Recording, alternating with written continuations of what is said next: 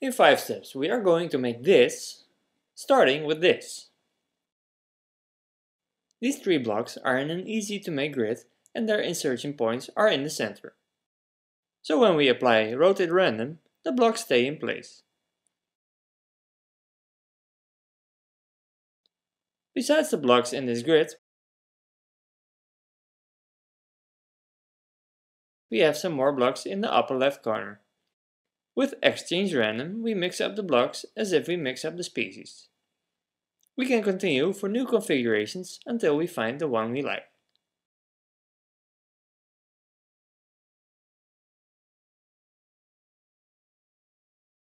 The hedge in these blocks are colored by block. So when we apply random colors to the blocks, the hedge changes color. Next we are going to change the size.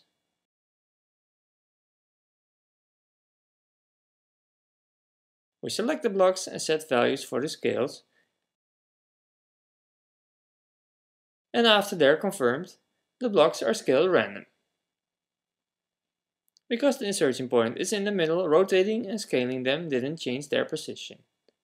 When we applied displace random, the blocks changed position and within one minute we changed a boring grid of trees into a colorful little forest. These randomized commands can be found in the UrbanLisp App Store. As long as the commands are stamped with the social download stamp, you can download them for free and try them out.